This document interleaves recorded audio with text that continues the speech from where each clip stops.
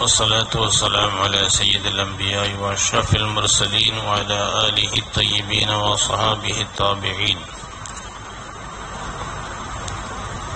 قال الله تعالى في محكم التنزيل وفي الفرقان الحميد والذين اتبعوهم بإحسان رضي الله عنهم ورضوا عنه صدق الله العظيم கண்ணியத்திற்குரிய இஸ்லாமிய பெரியவர்களே கடந்த வாரம் நாம் இமாமுல் ஆலம் அபு ஹனீஃபா ரஹமத்துல்லா அலி அவர்களை பற்றி நாம் பார்த்தோம். மற்றுமுள்ள இமாம்கள் தபழ தாபியன்களில் வருகின்றார்கள். நாம் இன்னும் சில தாபியன்களை பற்றி சொல்லி முடித்து மற்ற இமாம்களுடைய சரித்திரத்திலிருந்து நாம் பகிர உள்ளோம் இன்ஷா தாபியங்களுடைய வரிசையில் சுலைமான் இபின் யசார் ரஹமத்துல்லாஹி அலிஹி அவர்கள். மதீனாவிலே ஏழு தலை சிறந்த பொக்கஹாக்கள் மார்க்க சட்டத்திட்டங்களை தெரிந்து கொள்வதற்கு ஆதாரபூர்வமான அரசுகளால் அடையாளம் காணப்பட்ட ஃபுக்கஹாக்கள் ஏழு பேர் இருப்பார்கள். அந்த ஏழு பேர்களில் சுலைமான் இபின் யசார் ரஹமத்துல்லா அலி அவர்களும் உண்டு. இவருடைய தந்தை எஸ்ஆர் அவர்கள் அண்ணலும் பெருமானார் சல்லா அலி செல்லம் அவருடைய பரிசுத்த மனைவிமார்களில் ஒருவரான மைமோனா அலி அல்லா தாலான்ஹா அவர்களுடைய அடிமையாக இருந்தவர்கள். அதே சமயம் இவர்கள் சிறந்த எழுத்தாளர் என்பதால் உம்மு சல்மா அலி அல்லா தாலான்ஹா அவர்கள் தன்னுடைய எழுத்தராகவும் வைத்துக் கொண்டார்கள். அழகாக எழுதுவார்கள்.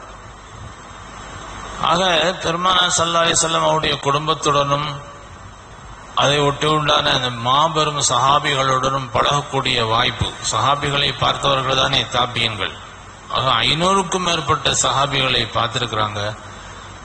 பெரும்பெரும் சஹாபிகளிடம் கல்வியை கற்றிருக்கிறார்கள் சுலைமான் இபின் எஸ்ஆர் அலி அல்லா தாலா இளம் வயது சிறந்த அழகான பொலிவான தோற்றம். அழகு அறிவு அதே சமயம் அமல். இந்த மூன்றும் ஒன்று சேர்றது ஒரு பெரிய குடிப்பினை. அப்படிப்பட்ட ஒரு பாக்கியத்தை பெற்றவர்கள் சுலைமான் எஸ் ஆர் ரஹமத்துல்லா அலி அவர்கள். உமர்பின் அப்துல் அஜீஸ் ரஹமத்துல்லா அலி அவர்கள் யார அதிகாரியா நியமிப்பார்கள்னா மிகப்பெரிய அவுலியான்னு சொல்லக்கூடியவர்கள் முத்தகின் சொல்லக்கூடியவங்களை தான் அவங்க ஆட்சியில் அதிகாரியாகவும் பொறுப்பையும் நியமிப்பாங்க. உமர்பின் அப்துல் அஜீஸ் அவர்கள் ஆட்சியாளருக்கு ஆவதற்கு முன்பு மதீனாவில் அவர்கள் கவர்னராக இருந்தார்கள். அப்படி கவர்னராக இருக்கும் பொழுது இந்த சுலைமான் இபின் எஸ்ஆர் அவர்களை தான் அதிகாரியா நியமிச்சாங்கன்னா அப்துல் அஜீஸ் தேர்வு அப்படி. அவங்க அமைச்சவரையில் இருக்க இருக்கக்கூடியவர்கள் அனைத்து அமைச்சர்களுமே அவுலியாக்கள் தான். அந்த மாதிரி ஆளை போட்டு அவங்க சொல்றது படிதான் இவங்க ஆட்சி செய்வாங்க. அந்த மாதிரி ஆள் அவங்க. அப்படி அவர் தேர்வு செய்தவர்களில் சுலைமான் இபின் எஸ்ஆர் ரஹமத்துல்லாஹி அலி அவர்களும் அப்படிப்பட்டவள் ஆனால் நல்ல அழகு. இவரும் இவருடைய நண்பர்களும் இவருடைய வாழ்க்கையிலிருந்து நாம் பெறக்கூடிய ஒரே ஒரு படிப்பினை தான் அதை மட்டும் நாம் நினைவு கூற இருக்கிறோம். இவர்களும் இவருடைய நண்பர்களும் மதீனாவை விட்டு என்ன செய்யறாங்க வெளியிலே பயணம் செல்கின்றார்கள். அப்ப ரொம்ப தூரம் போனோம்னா அபவா என்ற ஒரு இடம் வருது.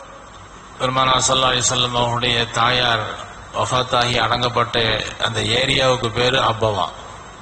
அப்ப அந்த இடத்தை கடக்கும் பொழுது பயணத்தில் களைப்பு ஏற்படவே இவர்கள் என்ன செய்யறாங்க தன்னுடைய வாகனங்களை கட்டி போட்டு கூடாரம் வச்சிருப்பாங்க. அந்த கூடாரத்தை அடிச்சு கொஞ்ச நேரம் ஓய்வு எடுக்கிறாங்க. சுத்திலும் ஊர் கிடையாது. எல்லாம் சமவெளிகளாக தான் இருக்கும். பாலைவனமாக தான் இருக்கும். மலைகளா இருக்கும். இவங்க ரெண்டு பேர் தான் இருக்கிறாங்க. அப்போ ஒருவர் சொல்றாரு நாம நமக்கு தேவையான சில பொருட்களை நான் வந்து என்ன செய்யறேன் கொஞ்சம் தூரம் போய் ஒரு கிராமத்தில் போய் நான் வாங்கிட்டு வந்துடுறேன். ஏதாவது சமைச்சு சாப்பிட்றதுக்கு அப்படின்னு சொல்லி ஒருவர் இவரை வைத்து விட்டு அவர் சென்று விடுகின்றார். சுலைமான் எஸ் எஸ்ஆர் அவர்கள் மாத்திரம் அந்த கூடாரத்தில் இருக்கிறான்.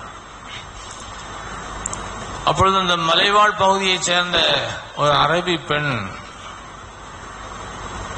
வர்றாங்க. ஒரு புதுசா குடிசை குடில் தெரியுத கூடாரம் தெரியுதே என்று சொல்லி அந்த பெண் வருகின்றால் இளமையான பெண் அழகான பெண். அவள் வந்து இவரிடம் என்னுடைய தேவையை நிறைவேற்றுங்கள்னு சொல்றான் அப்ப இவர் ஏதாவது உணவு தான் கேட்கிறா போல் இருக்கு இந்த பெண் என்று சுலைமான் இபின் யசார் அவர்கள் உள்ளே தானும் தன் நண்பரும் ஏற்கனவே ஊர்ல இருந்து கொண்டு வந்திருந்த தயாரிக்கப்பட்ட ஒரு உணவை எடுத்து அந்த பெண்ணிடம் சாப்பிடு என்று கொடுக்கின்றார்.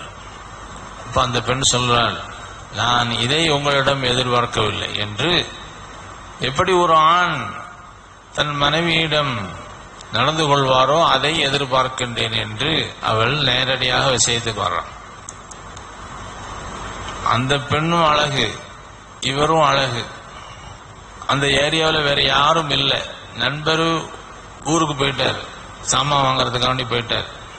இவள் இந்த இந்த மாதிரி ஒரு அழைப்பை கொடுத்தவுடன் சுலைமான் இப்னு ஆர் ரஹமத்துல்லாய் அலே அவர்கள் தேம்பி தேம்பி அழ ஆரம்பித்து விட்டார் கட்டுப்படுத்த முடியாத அளவிற்கு முகமெல்லாம் சிகந்து போகக்கூடிய அளவிற்கு கண்ணெல்லாம் வீங்கி போகிற அளவுக்கு அந்த பெண்ணு இவரை ஒன்றும் செய்ய முடியாதுன்னு சொல்லிட்டு அந்த பொண்ணு போயிடுறான் இவர் அழுது அழுது அதற்கு பிறமும் அழுது கண்ணெல்லாம் வீங்கி போயிடுச்சு. இப்ப நண்பர் வர்றார். நண்பர் வந்தவுடன் இவர் சாதாரணமா இருக்க முயற்சிக்கிறார் ஆனா முகம் காட்டி கொடுக்கிறது.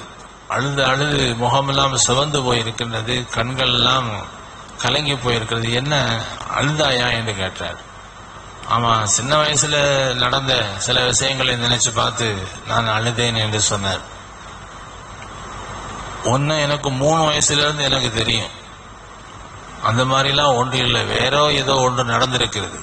எனவே உண்மையை சொல் என்று சொன்னவுடன் அதற்கு மேலே மறைக்க முடியாது என்று இந்த மாதிரியான ஒரு மலைவாழ் அரபி பெண் வந்து என்னை தவறுக்கு அழைத்தாள். என்று இந்த மாதிரி ஒரு சூழ்நிலையை நம் வாழ்க்கையில வந்து விட்டது என்று நான் நினைச்சு அழுதேன் அப்படின்னு சொன்ன உடனே அவர் அழ ஆரம்பிச்சிட்டார். அப்ப இவர் கேட்டார் எனக்கு இந்த மாதிரி சூழ்நிலை இருந்துச்சு நான் அதுல இருந்து எல்லாம் தப்பி தப்பிச்சிட்டேன். நீ ஏன் அழுற? அப்படின்னு கேட்ட உடனே அவர் சொன்னார் இல்ல நான் கூடாரத்தில் இருந்து நீ சாமான் வாங்கிறதுக்காண்டி போயிருந்தால் இந்த மாதிரி உன்னை போன்று நான் பத்தினித்தனமாக இருந்திருப்பேனா? அல்லாஹ் என்னை இந்த மாதிரி காப்பாத்திட்டானேன்னு சொல்லி நான் அழுதேன் என்று அவர் அழுகிறார். அப்ப போட்டி போட்டு கொண்டு கற்பை காப்பாற்றுவதற்காகவும் அதற்கு நன்றி செலுத்துவதற்காகவும் அவர்கள் கவலைப்பட்டிருக்கிறாங்க. இவர் இவரு அப்படி தன்னுடைய வேலைகளை முடிச்சுட்டு அப்படி மக்கா வர்றாங்க. மக்காவில் மக்கா வந்தாலே உம்ரா செய்வாங்க. உம்ரா செய்துவிட்டு அப்பெல்லாம் இப்படியான நெருக்கடியான காலகட்டங்களும் கிடையாது காபாவை சுற்றி. ஏதோ ஹஜருல் அஸ்வத் கல் பக்கத்துல தன் துண்டை தலைக்கு வச்சுக்கிட்டு கொஞ்ச நேரம் தூங்குறாங்க. தூங்குற உடனே ஒரு அழகான வாலிபர் கனவில் வருகிறார். கனவுல வந்த உடனே நீங்க யாரு? இவ்வளவு அழகாக இருக்கிறீர்கள் சொல்ல பொழுது நான் தான் யூசுப் நபி என்று கனவில் வந்தவர்கள் சொல்கின்றார்கள். யூசுப் அலி இஸ்லாம் அவர்கள் நான் தான் யூசுப் நபி என்று சொன்னவுடன் பொதுவாக ஒரு நபிமார்களை பார்த்தவுடன் அவங்க வாழ்க்கையில் நடந்த சில விஷயங்களை நாம் கேட்போம். அந்த மாதிரி இவர் அந்த கனவுலேயே கேட்கின்றார்.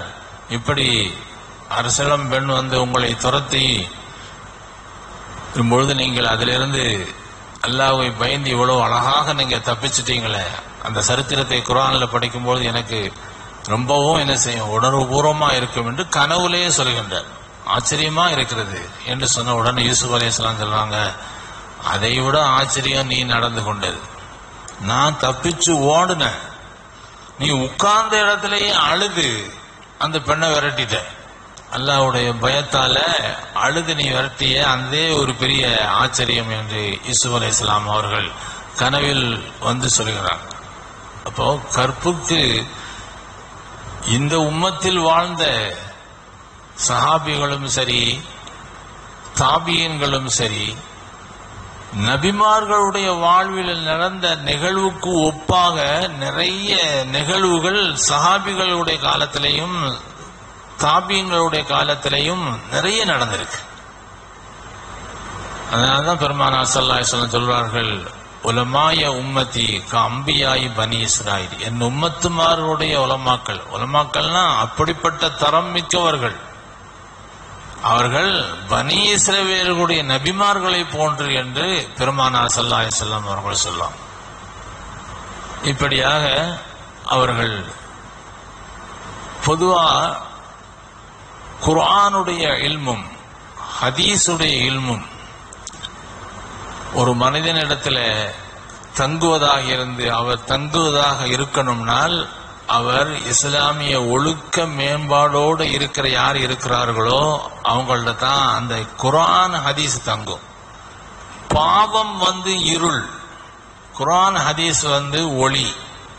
ஒரு நறுமணமான அந்த அல் இல்மு பாவமான அசூசையான கல்புல போய் என்ன செய்ய உட்காராது அப்ப அவர்கள் தன்னை எந்த அளவுக்கு பரிசுத்தப்படுத்திக் கொண்டார்களோ அந்த அளவிற்கு அல்லாஹு தாலா குரான் அதீசனுடைய விளக்கத்தை குட்டி கொடுத்தான்.